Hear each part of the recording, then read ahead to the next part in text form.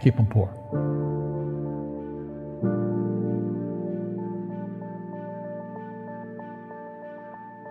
The moment I pay you, you think like an employee. The moment you accept the paycheck, your brain goes dead. That's the trap. Entrepreneurs work for free. As long as you're hungry, you'll think. The school system was designed to teach you to be an employee or a doctor or a lawyer, a specialist, but never about money.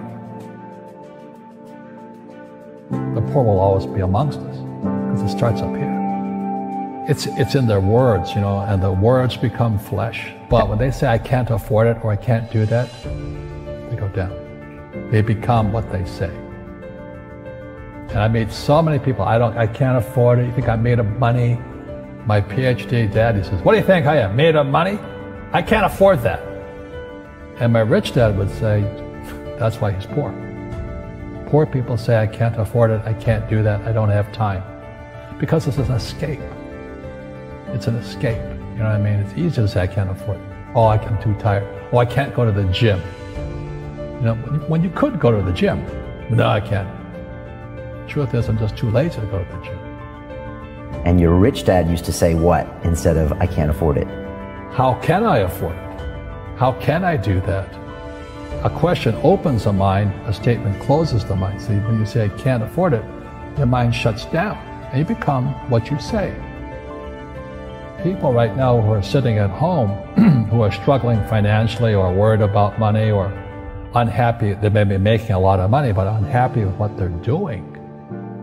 It was probably taught to you. You know, your super ego was taught, get a job, work hard, or you'll, or you'll never be rich, or the rich are evil, or whatever. Poverty is passed on. It's taught in your families. And middle class is taught in families. And until you change your mindset, Correct. money won't help you, right? Correct. And we see that with people that win the lottery, people that make more money, they still have the same problem. Right. Because they have that poor man's soul. Correct. If you're poor, you'll always be poor. That's really hard for people to understand. Yeah, the money will disappear that fast. Just like most pro athletes, you know, they make millions of dollars and what 65% are bankrupt five years later. It's because they come from poor families. But unfortunately, what Mr. Lipton was saying, it's passed down genetically. That's the frightening thing.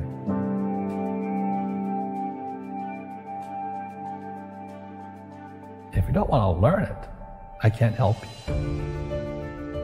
You know, I have bad luck too. I've, I've had financial crashes. I've had people stab me in the back, but they're all good because I grow from it. That's spirituality. You know, people who are afraid of making mistakes, like they teach in school, they don't ever grow. Because spirituality is there's good and there's bad, there's right and there's wrong, there's up and there's down. Most people only want to be right, they only want to be positive.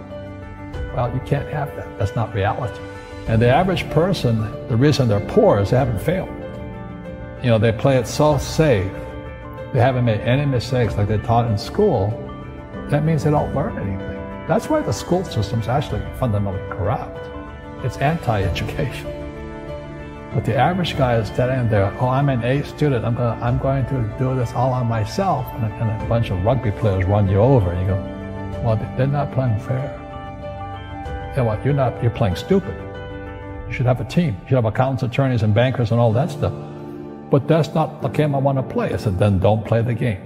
You know, the, the game of business is played with accountants, attorneys, bankers, hate to say it, politicians. You know, you got to know the game. You know, people say, well, money is not that important to me. Then if money is not that important to you, money is not important to you. I mean, the, you know what I mean? I don't care about money. The money doesn't care about you. You know, it, the word does become flesh. Or I'll never be rich. Or the favorite one is the rich are greedy. It's the poor that are greedy. You know, if you think about it, because to be rich, you have to give something. You know, you have to, I, I have to produce books and games, and I, I purchase real estate, I provide housing, provide jobs and all that. That's why I'm rich. But greedy people produce nothing. You know, Einstein said, you know, imagination is more important than knowledge. But knowledge empowers imagination.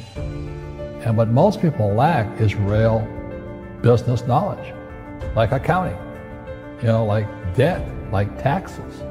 You got to know that stuff, but they don't teach it in school to anybody.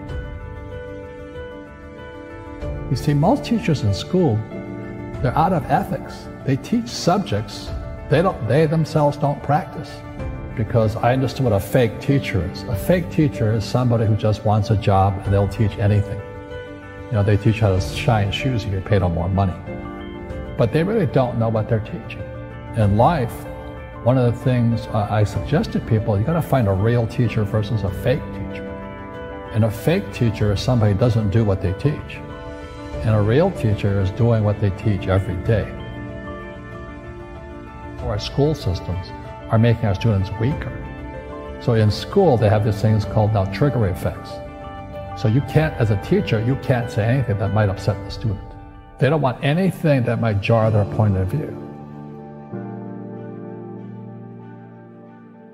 You see people say, well, why don't you give the poor money? So the only problem with that is just creates more poor people. Give a man know. a fish, he fishes for the day, or eats for the day. Yeah, you give a man a fish, you get a lot of people who want more fish, you know. But you teach them to fish we become creatures of our own habits. And until we break the habit, we don't change. Our schools don't teach that. Our schools teach almost the exact opposite of that. And the average person, the reason they're poor is they haven't failed. You know, they play it so safe. They haven't made any mistakes like they taught in school. That means they don't learn anything. That's why the school system's actually fundamentally corrupt. It's anti-education. So what I say to young people is you, you find your game. So my game financially is business, number one. Second is real estate. And that's why I pay no taxes. That's why Trump pays no taxes. Legally, it is a combination of business and real estate that gives us an unfair advantage over employees because they don't know what to do. A lot of people would rather sit in the stands than be in the game. One of the greatest ways to acquire great wealth is playing Monopoly in real life. Four greenhouses, one red hotel. But is that all there is? That's it. Robert, if I could give you uh, some kind of a magic phone and you could make a call to the, the 20 year old Robert Kiyosaki and give that young man a bit of advice, what would you tell him? I would just say keep going. Just do what you have to do. Just, you know, live it to the fullest, life, which I did. Nothing I ever did made sense. Now, could you imagine quitting a $120,000 a year job for $200 a month to go fight in Vietnam and almost die? It, it didn't make sense, but it was the best decision I made at that time. And I think what most people do is they let their parents or their friends talk them out of life. So afraid of failing. But failing is how we succeed. You look at the you guys look at guys like Edison and all that. It failed like 10,000, no, 1,014 times before he invented the light bulb. You know, our schools punish you for making mistakes. That's why we have so many people who are so afraid of admitting they make mistakes or afraid of failing.